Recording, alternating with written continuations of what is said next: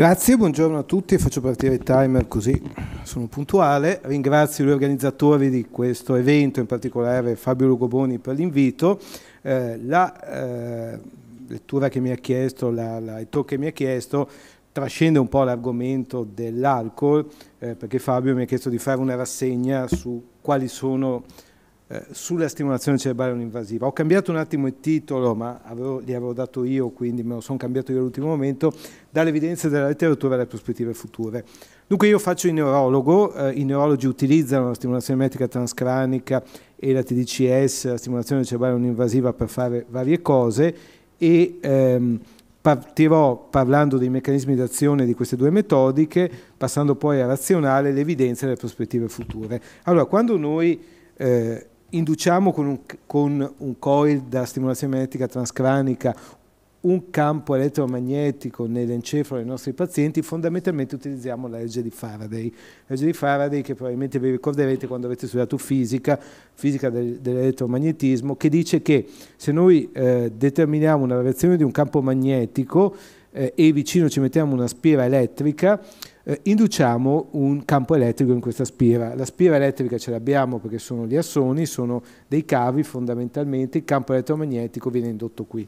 E quindi questa, eh, questo, questa legge di Faraday che risale al XIX secolo aveva già ispirato una serie di persone che avevano provato a stimolare l'encefalo, eh, Thompson, eh, questi due signori qui eh, e Darson Val e avevano ottenuto qualcosa. In realtà probabilmente eh, questa esperienza non derivava tanto da una stimolazione della testa, anche perché qui stavano stimolando qualcos'altro, ma probabilmente dalla stimolazione di vari tipi di recettori. Il problema era la primitività della metodica, eh, ma di fatto ci... Next. Aspettate, perché non va avanti? Ok. E, um, ci vollero molti anni, arriviamo all'85, quando su Lancet eh, questi autori, questo Barker, per la prima volta documenta di poter evocare una risposta motoria, un potenziale evocato motorio nell'arto superiore con uno stimolatore magnetico che di fatto è uguale a quelli che utilizziamo noi. Il coil è simile, eh, il principio di funzionamento è simile, però ci vollero 150 anni dal, dalla, legge, dalla definizione della legge di Faraday, del principio di Faraday. Che cosa fa uno stimolatore magnetico? Fondamentalmente uno stimolatore magnetico è un condensatore, un capacitatore che accumula tanta energia elettrica, la fa passare molto velocemente in una spira, in un coil, in quello che viene appoggiato sul capo del paziente, inducendo un campo elettromagnetico molto veloce. Ci sono varie modalità di stimolazione, ci sono degli stimolatori monofasici, bifasici. Gli stimolatori che noi utilizziamo possono permetterci di definire se stimoliamo in modo, in modo monofasico o bifasico. Questo per esempio è un parametro che cambia moltissimo quello che facciamo, cioè la direzione della corrente indotta. L'altro concetto importante è che alla distanza dal coil, eh, qui parliamo di centimetri, la eh, del campo magnetico, del campo elettromagnetico eh, si riduce molto velocemente e pertanto si riduce la possibilità che in un tessuto eccitabile sottostante si generi una eh, corrente elettrica. Questi sono i principali tipi di coil, il coil circolare, il coil focale o a figura di 8, perché vedete che sembra un 8. Eh, le caratteristiche sono diverse, uno stimolatore circolare, vedete, eh, pur sembrando uno stimolatore che è eh, più focale nell'azione, in realtà induce un campo eh, elettromagnetico e quindi una corrente elettrica in un'area molto più ampia. Il, eh, lo, il, coil a forma di 8 o a farfalla, invece avendo due eh, coil circolari che in, in alcune parti si annullano di fase, riesce a indurre un campo elettromagnetico e quindi una corrente elettrica in un'area più focale, che però insomma, non, è, non, è, tantissimo focale. Quindi il coil che abbiamo cambia completamente quello che stiamo facendo. Perché eh, funziona la stimolazione magnetica transcranica? Perché noi andiamo a stimolare dei tessuti eccitabili che sono tessuti corticali, non andiamo molto più lontano, eh, queste sono delle cortecce, questa è una corteccia sensitiva, questa è una corteccia motoria, quindi cortecce diverse hanno anatomia diversa e facciamo cose diverse in cortecce diverse, ma l'area più ampiamente esplorata, perché fondamentalmente lo stimolatore magnetico transcranico viene inventato eh, perché ai neurologi serve calcolare un tempo di conduzione centrale per fare diagnosi di malattie come la, la sclerosi multipla o per diagnosticare altre patologie del sistema motorio. Nasce per questo, quindi non nasce per fare una neuromodulazione, quello viene dopo. E quindi l'area principale che viene eh, stimolata e che è studiata meglio è la corteccia motoria primaria, che vedete qui è quest'area anteriore rispetto a, a, questo solco che separa la corteccia retiva primaria dalla corteccia motoria primaria. Nella corteccia motoria primaria i neuroni sono in profondità, sono quelli che generano il fascio cortico spinale, ma in realtà la stimolazione magnetica transcranica induce delle correnti in questi interneuroni di cui sono ricche le, ehm, di cui sono ricchi gli strati più superficiali e quindi va a agire su una neuromodulazione di, queste, di questi eh, interneuroni. Spiegato molto velocemente, perché per presentare questa slide ci vorrebbero 5 minuti, noi andiamo a, col nostro stimolatore magnetico ad attivare della circuiteria che è glutamatergica e gabaergica e ci sono degli studi che permettono di esplorare col doppio stimolo, per esempio, con intervalli di interstimolo diversi, per, eh, questo fenomeno di documentare che questo avviene e quindi noi non andiamo a stimolare direttamente eh, gli strati più profondi, ma stimoliamo quelli superficiali che sono ricchi di sistemi di connessione, di interneuroni. È molto delicato usare un coil per stimolazione magnetica, perché se, usiamo il coil focale, vedete che a seconda di come indirizziamo, eh, di come pieghiamo il coil rispetto al, eh, a questa linea tra naso e tra nasio e inion, cioè tra il naso e l'occipite, cambia completamente la risposta motoria. E la stessa cosa succede ovviamente in un'area sensitiva o eh, in un'area eh, cognitiva come la DLPFC che è quella che viene più comunemente stimolata nel trattamento delle dipendenze. Eh, quindi dobbiamo sapere cosa stiamo stimolando, eh, questi sono dei rendering di come cambia tantissimo, vedete che cambiando l'angolo cambia tantissimo quello che dalla corteccia motoria primaria viene stimolato. Quindi parametri molto piccoli come come tengo il collo in mano e come lo inclino modificano completamente ciò che stiamo facendo. Quando facciamo una stimolazione magnetica non per far diagnosi di un problema del fascio cortico spinale o di una malattia demilinizzante, utilizziamo delle, dei protocolli di stimolazione magnetica ripetitiva che può essere convenzionale, molto semplice, diamo degli stimoli ripetuti a una determinata frequenza alta frequenza, eh, scusate, bassa frequenza, un Hertz eh, eh, inibisce la corteccia, alta frequenza eccita sopra i 3 Hz. Eh, soprattutto eh, inibi, eccita a 10 Hz, le frequenze intermedie fanno, una, fanno un effetto intermedio. In realtà eh, in molti studi sulla TMS ripetitiva nelle dipendenze si utilizza la theta burst TM, TMS come è fatta la theta burst? È un protocollo di stimolazione magnetica patterned, cioè mentre eh, nelle altre metodiche uno stimola, un, dà un tot di stimoli alla stessa frequenza, qui ci sono dei burst di stimoli e poi un silenzio e poi degli altri burst di stimoli. E in questi protocolli di solito ci sono eh, 30 o 50 Hz, di solito 50 Hz, eh, con un intervallo di stimolo di 200 millisecondi. Vedete come la faccenda si complica? E se noi utilizziamo la stimolazione intermittente nello studio originale di Wang, Neuron 2005, eh, noi eh, abbiamo un fenomeno eccitatorio, una eh, plasticità che ricorda il potenziamento a lungo termine. Se utilizziamo la continua facciamo l'esatto contrario, facciamo, dovremmo fare un'inibizione a eh, breve termine, una long term depression. In realtà questo non è vero, nel senso che studi successivi ci dicono che il fatto che la eh, continua sia inibitoria e intermittente facilitatoria accade in un quarto di persone normali, in un quarto circa accade l'esatto contrario, in un quarto entrambe le modalità sono facilitatorie, in un quarto inibitorie.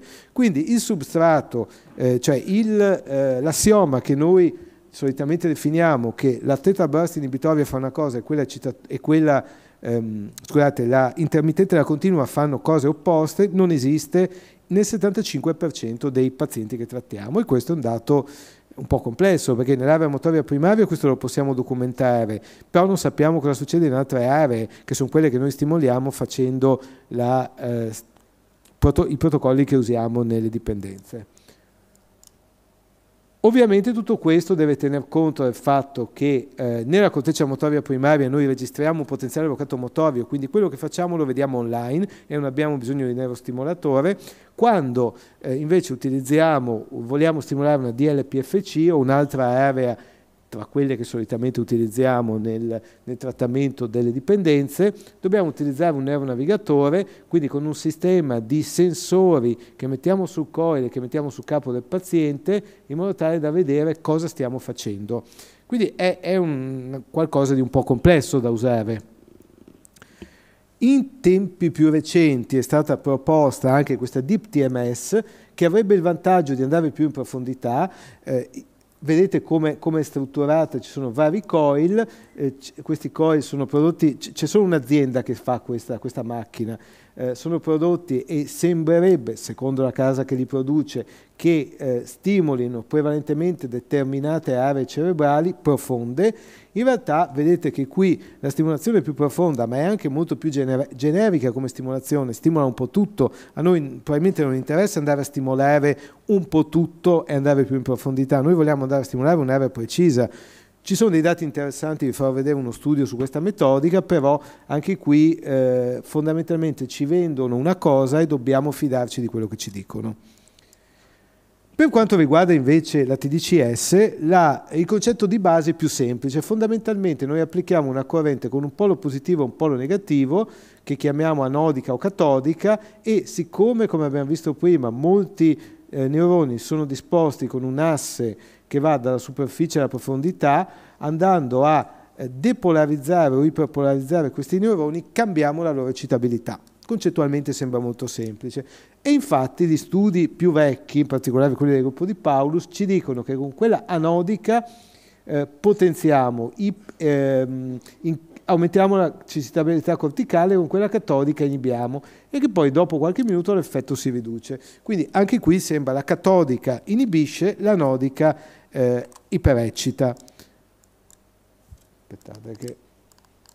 Ok, però dobbiamo tenere presente che noi non abbiamo sotto une, una corteccia che è dritta, la corteccia spesso ha dei solchi, eh, ci sono disposizioni diverse dei solchi e quindi noi in realtà cosa facciamo? Abbiamo un po' di neuroni in cui quello che diciamo dovrebbe accadere perché noi li depolarizziamo, li iperpolarizziamo, ma ce ne sono anche un po' eh, che sono tangenziali e ci sono eh, neuroni messi in altra direzione.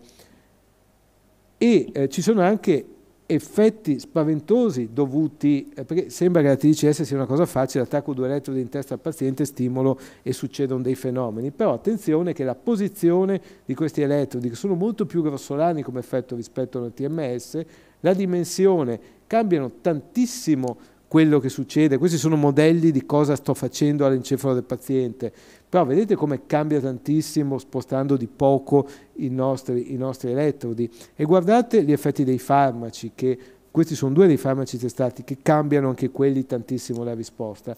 Quindi di fatto, se poi andiamo a vedere nella real life cosa succede, quello che noi dicevamo, cioè che la nodica è facilitatoria e la catodica è inibitoria, succede in un terzo dei pazienti, in un quinto succede l'esatto contrario, in un terzo sono, entrambe sono facilitatorie, in un 5% entrambe sono inibitorie e il 50% degli individui praticamente non risponde o risponde poco alla TDCS e anche qui casca un assioma su cui ci basiamo quando facciamo la TDCS. Ma detto questo, avrebbe senso utilizzare la stimolazione cerebrale invasiva nelle dipendenze? Sì, avrebbe senso. Perché? Perché eh, questo è, è, un cartoon di un paper che stiamo preparando con eh, alcuni miei collaboratori, eh, il reward related decision making e il reward related learning, che è il substrato di molte dipendenze, eh, coinvolge una serie di aree cerebrali superficiali, profonde, collocate in varie parti del nostro encefalo che codificano aspetti diversi di questo processo e valenze diverse, quindi andare a manipolarle avrebbe un senso. Quindi c'è un substrato, eh, c'è un razionale biologico di un trattamento di questo tipo.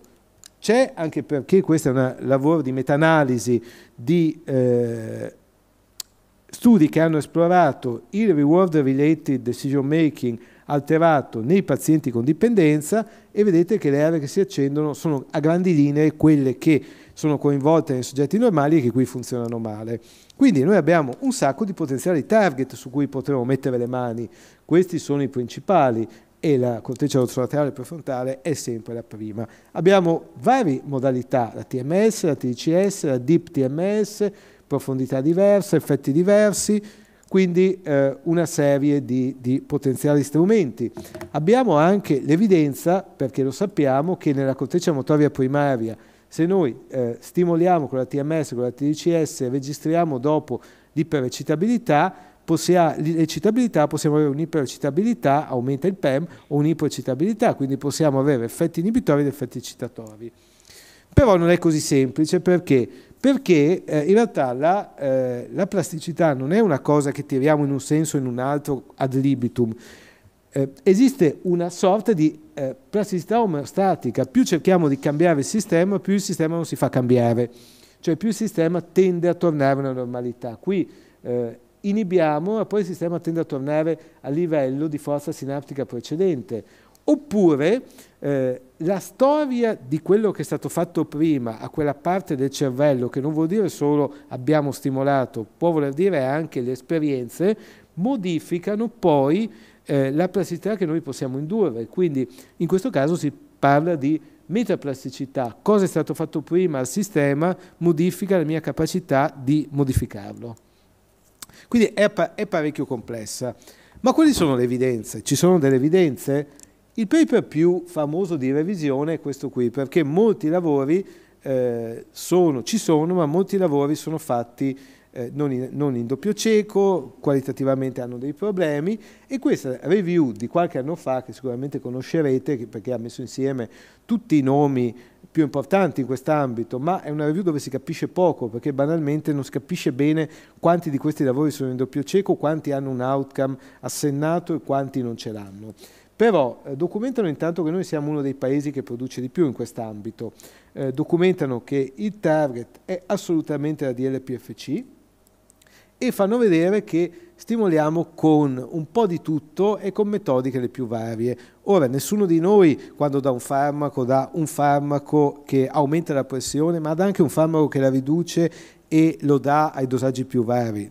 Se vogliamo ridurre la pressione diamo un farmaco che la riduce a quel dosaggio, se vogliamo aumentarla, cosa più difficile da fare, cerchiamo di dare un farmaco che aumenta a un determinato dosaggio. E questo è un problema perché stiamo facendo di tutto un po'. Le misure di outcome, vedete, sono le più varie, cioè eh, bene interessanti. Craving eh, c'è in una parte degli studi, però la neurofisiologia sì, è bello, ma senza il craving ci dice poco. Le funzioni cognitive, ma la memoria, mh, mm, sì, ok, interessante, ma parliamo di dipendenza, non parliamo di eh, problemi cognitivi. E quindi quando andiamo a vedere tutti questi outcome ci confondiamo un po'. Eh, le, eh, questo invece sintetizza il tipo di patologia e la fase di malattia, quindi vedete che c'è un'eterogeneità spaventosa.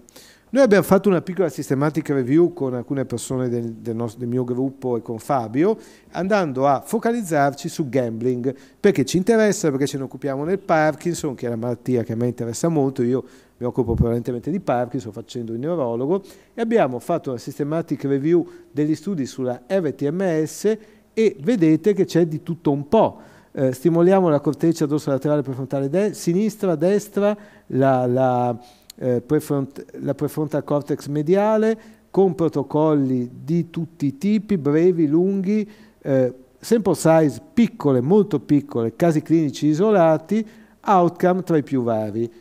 Sulla mm, TDCS sembra che ci sia più, ci sono meno studi, ma sembra che ci sia più uniformità, nel senso che eh, fondamentalmente quasi tutti gli studi, che però vengono purtroppo da pochi gruppi, mettono l'anodo su quella che dovrebbe essere la corteccia dorsolaterale prefrontale destra e il catodo sulla sinistra, cioè fanno un montaggio F3 F4, perché è tutto da vedere se lì c'è veramente la DLPFC solo o se c'è dell'altro, e sembrano essere concordi nel fatto che questa metodica sembra funzionare. Se andiamo a vedere cosa dicono le linee guida questi sono lavori mastodontici su tutto eh, per quanto riguarda la TMS ripetitiva e la TDCS, questo aggiornato 2020, questo meno aggiornato, e questi sono i massimi autori sulla stimolazione eh, magnetica transcranica sul DCS a livello mondiale, su quasi tutti i neurologi.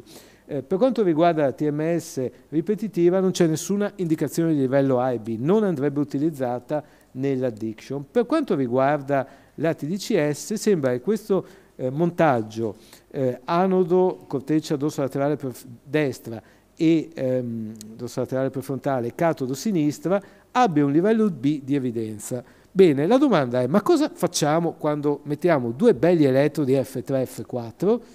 Qualcuno ha provato a studiarlo e ha studiato questo montaggio F3 e F4 in 66 persone che eh, avevano dipendenza da metanfetamine, andando a ricostruire con le immagini del loro cervello e con una, eh, valutando anche la teca cranica e il liquor, cosa stimolava questa, eh, questo montaggio. Ora la DLPFC è un po' lateralizzata, eh, praticamente in nessuno di questi pazienti stimoliamo la DLPFC, in qualcuno stimoliamo la corteccia eh, mediale prefrontale, in molti facciamo poco.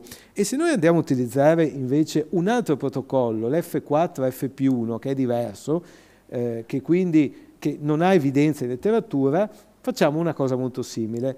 Se andiamo a vedere, se settiamo una soglia di efficacia, andiamo a vedere i due sistemi di stimolazione e vediamo che eh, cosa vanno a stimolare, non in termini di aree, ma in termini di sistemi, vediamo che con entrambi stimoliamo un po' eh, le aree del sistema limbico, ma in molti casi la stimolazione è così bassa da non dare probabilmente un effetto e non c'è molta differenza tra le due modalità. Quindi non, si, non sappiamo di fatto che cosa stiamo facendo e questo è un problema.